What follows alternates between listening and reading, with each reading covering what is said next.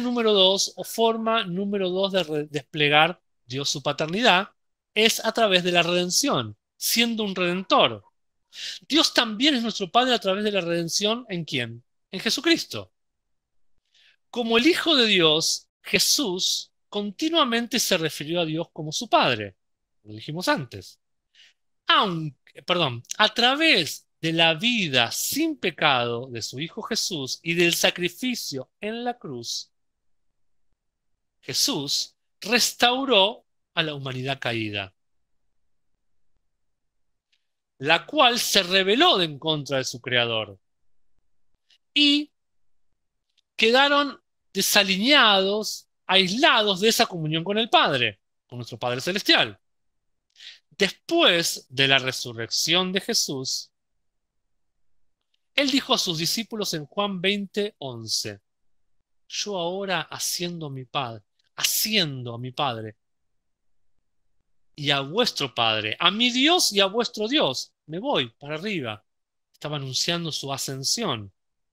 Todos nosotros podemos llamar al Creador nuestro Padre, porque a causa de la redención provista a través de Jesucristo. Pero Jesús, no sé si alguna vez se detuvieron a ver que Jesús también es llamado Padre. Siempre lo vemos a Jesús como el Hijo de Dios, pero Él también ocupó una función paternal con nosotros por medio de redimirnos. Por eso Isaías 9:6 dice, porque un, hijo, un niño nos es nacido y un hijo nos es dado. Y el gobierno será sobre sus hombros y su nombre será llamado, estoy leyendo la versión en inglés, maravilloso consejero, Dios poderoso, Padre eterno. Subrayenlo. ¿Quién? Jesús, príncipe de paz. Jesús también es llamado en la Biblia Padre eterno. ¿Cómo es que aquel que era hijo llegó a ser padre? Y porque Él es uno con el Padre. Y el Padre no puede producir un hijo que no sea su imagen. Cuando Él, o sea, no producir, sino que Él no puede tener un hijo, en este caso Jesucristo, que no tenga su misma esencia, que es la esencia del Padre. Juan 10:30 dice, yo y mi Padre somos uno. Jesús lo dice. Si el Padre, si Dios es Padre, yo también soy Padre, está diciendo Jesús. Efesios 1.3 declara que Dios es el Dios y Padre de nuestro Señor Jesucristo. Cuando el Hijo se mostró a sí mismo y apareció sobre la tierra, él, vino del Padre, pero ellos son uno. Dice Juan 1.1, en el principio era la palabra, y la palabra era con Dios, y la palabra era Dios. ¿Qué es la palabra? Cristo es la palabra. Cristo es Dios. Si Dios es Padre, Cristo es Padre. El Padre y el Hijo son uno para sus propósitos redentores, Jesús vino como hijo, pero vino a revelarnos el corazón del Padre. En, la, en relación a su función y responsabilidad, Él es, según Isaías 9:6, Padre eterno. El Hijo es la esencia, el mismo ser del Padre. Aún los cristianos de la iglesia primitiva, en el concilio de Nicea, 325 años después de Cristo, afirmaron de la siguiente manera en este credo. Nosotros creemos en un Dios y en el Padre Todopoderoso, hacedor de todas las cosas, de las visibles e invisibles. Y detalla más este credo, pero voy a solamente una frase en la cual dice que Jesucristo es el engendrado del Padre, una sustancia unida al Padre. O sea que los cristianos de la iglesia primitiva reconocían a Jesús como aquel que venía del Padre y tenía la misma sustancia de su Padre. No podemos ser verdaderos padres a menos que estemos dispuestos a sostener aquello que sale de nosotros, aquello que nosotros producimos, aquello que viene y deriva de nosotros, sea en lo natural o sea en lo espiritual. Dios sostiene todas las cosas que han salido de él. A través del Hijo, por ejemplo, dice Hebreos 1 del 2 al 3, Dios el Padre hizo todas las cosas y sostiene todas las cosas por el poder de su palabra. Dice Hebreos 1 del 2 al 3. Pero en estos posteriores tiempos, Él ha hablado a nosotros por su Hijo, a quien Él nombró o, ubicó, puso como heredero de todas las cosas, o sea, Jesucristo, a través de quien Él hizo el universo. El Hijo es el resplandor de la gloria del Padre, la exacta representación de su ser, quien sostiene todas las cosas por su palabra poderosa. O sea, a través de Cristo, Dios sostiene todo lo que Él ha creado. Ahí manifiesta su paternidad. Él crea, pero también sostiene lo que viene de Él. Vamos a empezar a hablar un poco ahora del hombre, o sea, del Padre, pero enfocándonos un poco en el hombre, en la parte, en el masculino. El hombre es la imagen del Padre. Lo explica el apóstol Padre, Pablo, por ejemplo. Con el entendimiento de la paternidad como fuente y como sustento, que desglosamos hasta ahora en esta clase, tenemos que comenzar a ver cómo Dios creó al hombre para ser un padre sobre la tierra. Dice Hechos 17:26, de un hombre él hizo toda nación de los hombres, para que todos habitaran y llenaran la tierra. Adán fue creado primero y de él vino toda la humanidad, incluyéndolo, incluyendo a Eva. Esto está en Génesis 2, de 7 al 8, Génesis 2, de 18 al 23. Toda la creación vino de un hombre llamado Adán, incluyendo su propia mujer. Esta es la razón por la cual en la genealogía de Jesús, registrada en Lucas 3, el linaje concluye diciendo en el versículo 38, hijo de Set, hijo de Adán, el hijo de Dios. Lo llama a Adán, el primer hombre que Dios creó, lo llama, el libro de Lucas capítulo 3, hijo de Dios. Adán vino de Dios. Dios creó solo un ser humano de la tierra. Dios no creó a Eva de la tierra. ¿Se pusieron a preguntar alguna vez por qué Dios no creó a Eva de la tierra? Dios usó lo que había dentro de Adán para sacar de él y presentarle a su mujer. Dios no volvió a la tierra para crear, solo una vez fue a la tierra para crear. De hecho, la palabra Adán tiene que ver con tierra. Él nunca volvió a la tierra para crear a Eva. Él colocó a toda la humanidad en ese primer hombre. En Adán estaba escondida la semilla para toda la humanidad. Esto es un gran misterio. Porque Dios, ¿por qué será que Dios quiso que toda la raza humana viniera de solo un hombre? Dios fue a la tierra, artesonó, talló a un hombre, le respiró aliento de vida y creó de ese hombre a una mujer. Y le dijo, ahora sean fructíferos. Sé fructífero, en Génesis 1.28.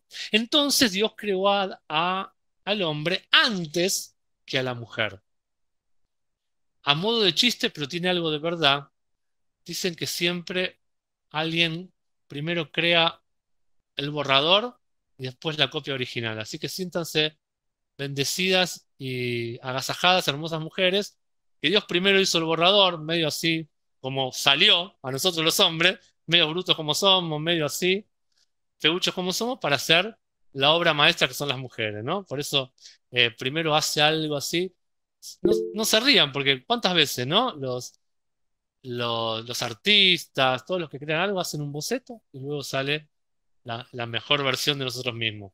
El doctor Ben dice, cuando presenta a su esposa, dice, ella es mi mejor mitad. ¿Sí? ¿Cuánto de nosotros tenemos que reconocer que las mujeres que tenemos al lado es nuestra mejor versión en un envase aún mejor, ¿no? Qué lindo poder decir eso. Entonces, un hombre que es Adán tenía dentro de él el potencial para todo hombre y mujer en la historia. ¿Por qué? Porque así como Dios quiso que Adán, así como Dios es fuente, Él quiso que Adán fuera la fuente de la creación. Él quiso tener a alguien por medio del cual vinieran los demás. Entonces, como Dios lo constituyó a Adán como padre, un padre es una fuente. Entonces no podía tener otras fuentes. Si Él creaba a Eva de la tierra, apartada de Adán, creaba otra fuente. ¿Se entiende? Entonces tenía que crear a Eva desde Adán, no porque el hombre fuera es más importante, sino porque hay un orden. Y de él crear a Eva. Y le haré a ella tu ayuda idónea. Ayuda idónea no es la sirvienta, no es la que te cocina. Yo sé, de paso acá cocino yo. Y nadie se mete en mi cocina. Mentira. No es la que te sirve, la que te atiende, la que te alcanza las pantuflas. No, es la ayuda complementaria. Una ayuda idónea es la ayuda complementaria, con que juntos pueden liderar una familia, en compañerismo, en amor. La mujer respetando al marido, el marido amando y cuidando a la esposa. No es rangos de mayor importancia. No es que el hombre es más importante porque es la cabeza. Son lugares, nada más. Entonces, hay un orden en todo. El hombre es la fuente, la mujer vino de él. Y eso lo vamos a ir desglosando en mayor explicación más adelante. Entonces el hombre es padre, no por voto, no por cultura, no por posición, sino por virtud de la disposición en el proceso de la creación. Esto es debido a que el hombre es el ab, el pater, tenía que representar a Dios. Dios el Padre es el modelo perfecto, el ejemplo, el mentor para todos los hombres que desean ser verdadero Padre. Así como Dios es el Padre de todas las cosas que viven, Él convirtió al hombre en el Padre de toda la raza humana o de la familia humana. Sea, la fuente. Ahora, el problema, o sea, no el problema, sino que lo pesado viene es que como cada hombre es creado, como es la para ser la fuente, también como fuente después tengo que mantener o sustentar lo que creo. Y acá viene la gran responsabilidad que conlleva la paternidad, tanto natural como espiritual. Esta es la razón por la cual todo hombre, no importa si esté casado o no, tiene la inherente identidad, o sea, tiene adentro de él, eso es inherente, en su composición o en su configuración, la identidad y el propósito de la paternidad. La paternidad no se trata solamente de engendrar hijos o de tener hijos. Hay muchos que son padres en diferentes facetas sin haber tenido un hijo natural, o madres también.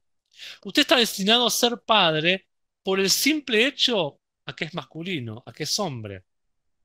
Debido a que Eva fue creada de Adán, usted es responsable por, somos responsables por nuestras mujeres y por lo que procreamos, por lo que engendramos con ellas. Pablo se refirió al principio y a la responsabilidad del hombre como la fuente principal de la raza humana. La razón por la cual Él nos creó no es para que seamos, no es para otra cosa que seamos una representación visible de quién Dios es. Todo lo que no, miren, anoten esto porque no está en el apunte, esto es fuerte. Anótenlo porque no está en el apunte. Lo repito, la razón por la cual Dios nos creó es para que seamos una representación visible de quién Él es.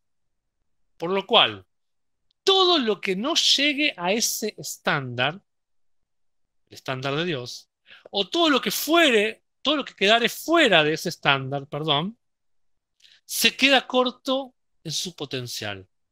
O sea que si no llegamos al, estándar que Dios nos plantea de paternidad, que Él nos enseña en la palabra, estamos quedando muy cortos en nuestro potencial de paternidad. Y es una pena, una desgracia. 1 Corintios 11.3 8 y 11 dice, ahora quiero que se den cuenta que la cabeza de todo hombre es Cristo y que la cabeza de la mujer es el hombre. Si notan alguna diferencia es porque yo tengo otra versión. Y la cabeza de Cristo es Dios, porque el hombre no vino de la mujer, sino que la mujer vino del hombre. En el Señor, sin embargo, la mujer no es independiente del hombre, tampoco el hombre es independiente de la mujer. Somos uno. Los dos necesitamos. Los dos tenemos que trabajar en, en unidad. Los dos nos complementamos. Y a la vista de Dios todos tenemos la misma importancia, porque Dios trata a nosotros como espíritus y Dios nos ve a todos iguales, porque Dios es espíritu y engendró espíritu. Lo que pasa que acá, en esta tierra, necesitamos funcionar, algunos como mujeres, algunos como madres, en diferentes áreas, y otros como padres, los masculinos. Entonces, Dios creó al hombre para ser el padre de la familia y por eso lo hizo primero. Vamos a desglosar cómo es esto de que el hombre es como padre. Primero, el hombre es como padre porque es la fuente de la simiente o la fuente de semillas. El hombre es aquel anfitrión o aquel que tiene en sí mismo el poder escondido en los espermas, que son las semillas que luego pueden portar vida. Esto es la fuente de la humanidad. A través de los espermas garantizamos las futuras generaciones desde lo biológico. La mujer incuba esa semilla. Por eso es una pavada pelearse cuál rol es más importante, porque uno sin el otro es imposible continuar con la humanidad. Porque, ¿qué sentido tiene una semilla si no hay un campo? Y lo mismo en cualquier cuestión, para tener un hijo y para cualquier proyecto. Se necesita una semilla, una idea, algo que tenga vida, algo que porte vida. Pero luego esa semilla tiene que caer en tierra. Porque dice la palabra de Dios, la semilla no cae en tierra y muere, no produce vida, no produce fruto. Por eso Dios une al hombre y a la mujer. No solo para procrear hijos, sino proyectos y diferentes cosas que se pueden dar a luz. La mujer es quien le va a dar a vida a esa semilla, va, va a permitir que esa vida, escondida en la semilla, sea soltada, explote. ¿Por qué? Porque en el campo, en el terreno, están los nutrientes que esa semilla necesita para soltar esa vida. ¿Y quién provee ese campo? La mujer, con su vientre. La mujer siendo la receptora de esa semilla. El hombre es dador de semilla, la mujer es receptora de semilla. Para, se necesitan las dos partes de igual modo para producir vida. Lo mismo en el plano del espíritu. Por eso Cristo, eh, el apóstol Pablo, perdón, comparó a Cristo y la iglesia. Se necesita a Cristo, que es aquel que suelta la semilla de la vida, pero se necesita una iglesia que reciba esa semilla como terreno para producir hijos espirituales y para producir cristianos. Solo con Cristo no se puede. Se necesita Cristo con la iglesia en unidad para producir vida. Entonces, el hombre es el portador de la semilla, es la fuente. Número dos, el hombre es aquel que nutre. La semilla de un árbol necesita ser plantada y para convertirse en otro árbol y para producir más fruto. Cualquier cosa que salga de la semilla es fruto. Por lo tanto, nosotros, los que somos hombres, los que somos padres, somos aquellos responsables de nutrir el fruto. La semilla provee al árbol, el cual sostiene el fruto y a su vez produce más semilla. Cuando les digo semilla, piensen en vida, piensen en continuidad, piensen en generaciones. El padre, ser padre significa aquel que nutre. El hombre debe ser quien nutre a su mujer y a su familia. Primera Corintios 11:8 dice, porque el hombre no vino de la mujer, sino de la mujer del hombre. Y el versículo 7 dice que la gloria del hombre es la mujer. Entonces, debido a que la mujer vino del hombre y que los hombres debemos ser responsables y somos responsables de la mujer, tenemos que ver cómo las tratamos. Ojo, cómo tratamos a la mujer. Y acá viene una de las partes más duras que me golpeó fuerte. Quisiera pasarla rápido, pero no sería responsable de pasarla rápido. Anoten y mediten en esto. Alguno se va a quedar sin dormir por meditar en esto. Un padre es el que nutre. Cuando decimos que un padre es el que nutre, creo que no te imaginas todo lo que implica nutrir.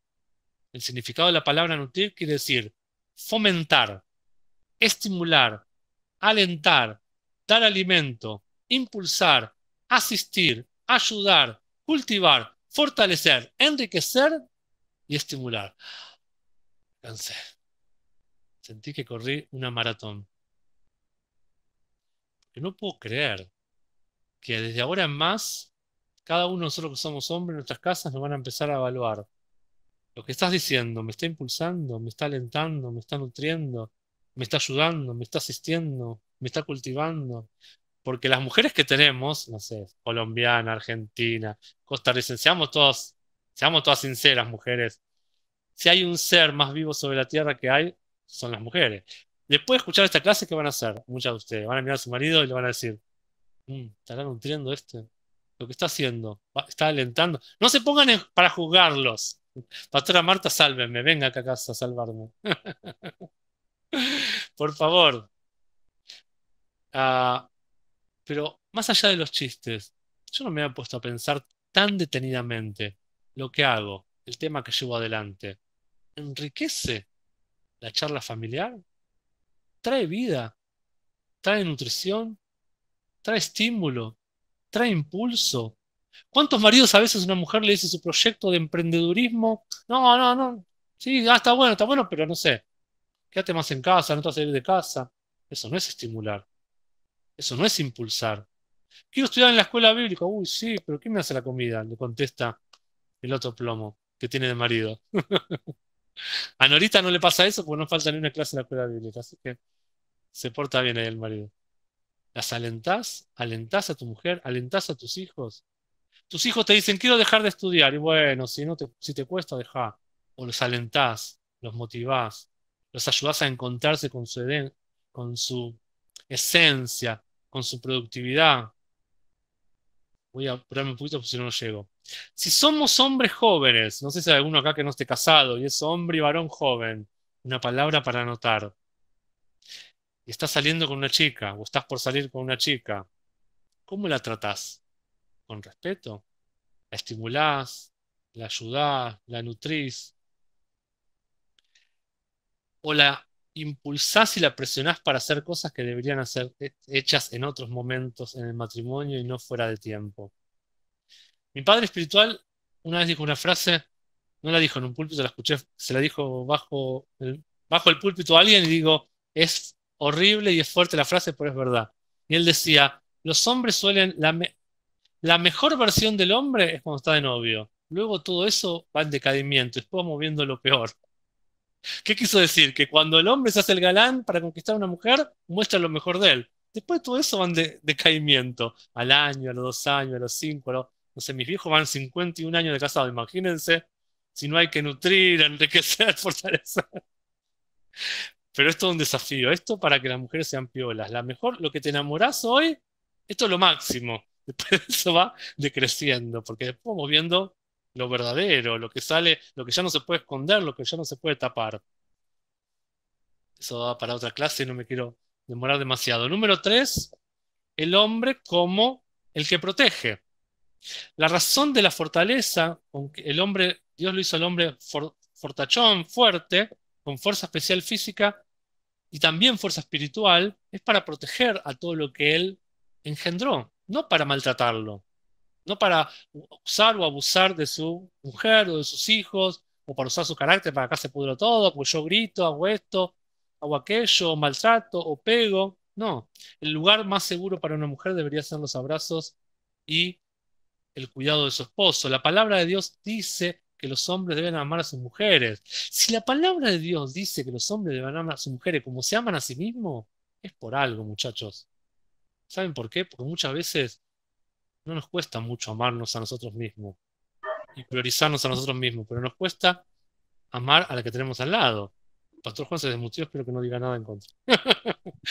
¿Por qué? Porque a veces es muy fácil a los hombres volvernos Cristian céntrico. Mi señora me dice, te estás volviendo cristian céntrico. Volvernos centrados en nosotros mismos. Tenemos que dejar de estar centrados en nosotros mismos, pensar que nuestro centro tiene que ser nuestra esposa. Y ojo, pero a la mujer también le dijo algo. Respeten a sus esposas. a la mujer a veces se le olvida esto, respetar al esposo. Tomemos las enseñanzas del apóstol Pablo. Alguno dirá que fácil era para el apóstol Pablo cuando se ha casado, pero Dios se la reveló. No le echen la culpa al apóstol Pablo. La palabra de Dios entonces lo dice de esta manera. Si un hombre ama a su mujer, ama a su propia carne. La paternidad es una tremenda responsabilidad porque usted es el progenitor, usted hombre es el progenitor de aquello que salió de su vida. Entonces debe proteger aquello que salió de usted. Cuando una mujer sale con un hombre, acá está la parte de la mujer, tiene que sentirse protegida física, emocional y espiritualmente por ese hombre. Ojo, mujeres, a los hombres que eligen. Cuando elijo una pareja, yo como hombre no tengo que buscar una madre. Mujeres no tienen que buscar a alguien a quien terminar de criar. Aunque algunos de nosotros somos medio cabezaduras que nos terminaron de criar por ahí, no. Porque hay esa tendencia a veces, sobre todo en Argentina, ¿no? A este le voy a enseñar esto, a este lo voy a cambiar. La mujer nos quiere cambiar y nosotros nos revelamos que no queremos cambiar. Entonces somos como ahí la burra que está, o sea, como, no sé, un jinete que quiere domar. No, no es así. Ubiquémonos y posicionemos cada uno en la función que nos pertenece. Pablo dice, miren qué hermoso y precioso como lo dice Pablo. Pablo dice, mi gracia los ha protegido. Y damos tres versículos. Dice Filipenses 1.7, que Pablo nos llama participantes de la gracia con él. Luego Hechos 20.29 dice, porque yo sé que después de mi partida, lobos rapaces entraron entre ustedes no perdonando el rebaño. A estos lobos rapaces en Corintios se los llama aquellos siervos que se visten como ángeles de luz para dispersar el rebaño. ¿Siervos de quién? No de Dios, siervos de Satanás. Todo lo que viene a traer división es siervo de Satanás y no de nuestro Padre. También en nuestras familias. Si alguien en nuestras familias naturales espirituales trae división, está sirviendo a Satanás y no es nuestro Dios. Ojo con eso. Ojo con eso. Pero hay una gracia que nos quiere proteger, que es la gracia paternal. Por eso el apóstol Pablo dijo, mientras yo estuve con ustedes, mi gracia los protegió. Qué tremendo. Que como padres naturales espirituales tengamos esa meta, que con nuestra gracia protejamos a nuestros hijos naturales y espirituales. No se asusten, ya vamos terminando. Primera Samuel 7, 13 dice algo tremendo. Así que los filipenses estaban sometidos y ellos eh, perdón, filipenses no, los filisteos. Los filisteos estaban sujetos, hay algo que no me cerraba. Estoy leyendo la versión en inglés por eso. Dice, y la mano de Dios estaba en contra de los filisteos todos los días de Samuel. Cuando la gracia paternal, profética de Samuel estuvo gobernando y liderando la nación de Israel, los filisteos no podían hacerle guerra. Cuando hay una gracia paternal en las causas naturales y espirituales, los enemigos de esa casa van a quedar sometidos. Cuarto, el hombre, como padre, determina el tipo de simiente e influencia su calidad. Debido a que el hombre es el portador de la semilla, él lleva el tipo del árbol que, su simiente va a... Depende de él el tipo de árbol que su simiente se va a convertir. Entonces, nosotros tenemos el poder de influenciar el producto final, la calidad de ese producto final por medio de nuestros caracteres, de nuestro carácter, que lo vamos a ver vilumbrado en nuestros hijos. Por eso Gálatas 6.7 dice algo tremendo. Gálatas 6.7 y con esto voy cerrando. Dice, no os engañéis, Dios no puede ser burlado. Todo o cualquier cosa que el hombre sembrare, eso segará. Quiero irme con esta idea que para mí es profunda y reveladora, aunque no puedo terminar. Lo próximo lo tenemos que ver en otra clase, que es muy, que lo quiero desglosar en la otra clase y en otras clases posteriores. Miren esto, piensen en esto. Volvamos al tema de la semilla y el terreno. El hombre es el que da la semilla, ya lo vimos de la manera fisiológica, en la procreación de un bebé, por ejemplo, y en todo. El hombre debe iniciar, es la fuente, es la semilla, es el que provee. Dice, Dios no puede ser burlado. Aquel, todo lo que el hombre sembrare, eso cosechará. O al revés, dice la NBI, el hombre cosechará lo que sembrare. El hombre, según el apóstol Pablo, es figura de Cristo, la esposa o la mujer es figura de la iglesia. ¿Qué hace Cristo? Se dio a sí mismo, se entregó, inició la obra, se entregó por amor, sacrificó toda su propia vida por amor a su iglesia.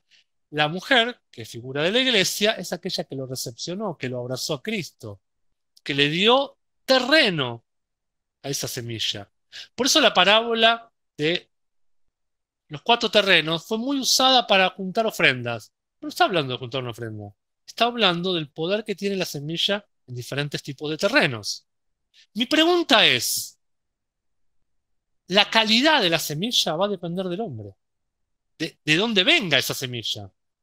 Si es una semilla que tiene que viene un árbol de olivo va a tener una calidad, si es una semilla que viene un árbol de naranja va a tener otra calidad. Si es una semilla de un árbol que esté infectado y contaminado va a tener una calidad y una producción si es, o sea, una semilla de un árbol que bien está puro, ¿cuál es la calidad de la semilla? Va a depender de ese hombre.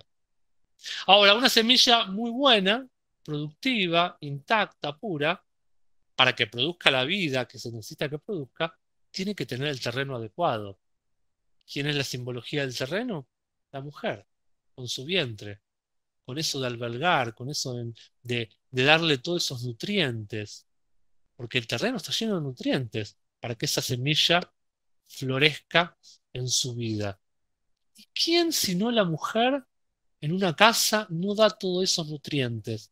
Ese cariño, e-, esa actitud de escucha, ese calor de hogar, las casas que a veces falta un poco la mujer o falta eso femenino, a veces le falta como ese calor. ¿Por qué? Porque tienen ese poder que lo tienen desde su mismo parte fisiológica que es ese vientre, donde tienen esa capacidad de mantener por nueve meses la vida humana. Yo, el mejor estado que vi a mi esposa fue embarazada, tuvo cuatro embarazos, uno, tenemos tres nenes porque uno lo, eh, perdió cuando era muy pequeño, el, el, bebé, pero creo que es el mejor estado una mujer, porque yo digo, qué cosa tan tremenda que Dios las haya elegido, qué privilegio tan tremendo de portar vida en esos vientres, qué misterio tan tremendo. Ahora que por mi trabajo a veces estoy relacionado con interpretar obstetras o cosas de las mujeres, yo digo, es tremendo pensar que en ese aparato femenino, que en ese vientre, que, que es como una casita ese útero, hay vida que esa mujer porta durante nueve meses. Es algo tremendo. Ese privilegio y ese honor que le dio la mujer. Y aquellas que todavía no fueron o no fueron nunca madres, en, cuanto a tener un hijo, también tienen un poder tremendo de mantener esa semilla, de esos sueños, de esos proyectos, aún de la iglesia. Una iglesia con mujeres que oran, con mujeres que son fieles, son de tanto apoyo para sus pastores increíble, que muchas veces esos pastores no lo encuentran en hombres. ¿Por qué? Porque las mujeres tienen esa capacidad de recepcionar la palabra, de abrazar la palabra. Es mucho más fácil, mucho más rápido hablar de la palabra y una mujer la recepciona y el hombre se empieza a pensar, a analizar. Es un tiempo de cada uno ocupar esa función trascendental. Pero les digo esto, repito, pensar en el hombre aquel portador de la semilla, tiene la vida escondida en esa semilla. ¿Qué? Tienen que encontrar un terreno que con esos nutrientes produzca la vida que debe producir. Llevado al plano de lo natural, pero también llevado al plano de lo, espiritual, que es Cristo, con un Padre espiritual, pastor, un líder, con la iglesia que viene a ser ese terreno. Me hubiera gustado terminar, me faltó muy poco, pero la clase que viene prometo terminar. Nos excedimos un poco el tiempo. La idea es que no nos vayamos mucho más de las nueve y media, nueve y veinte, nueve y media. Muy bendecidos.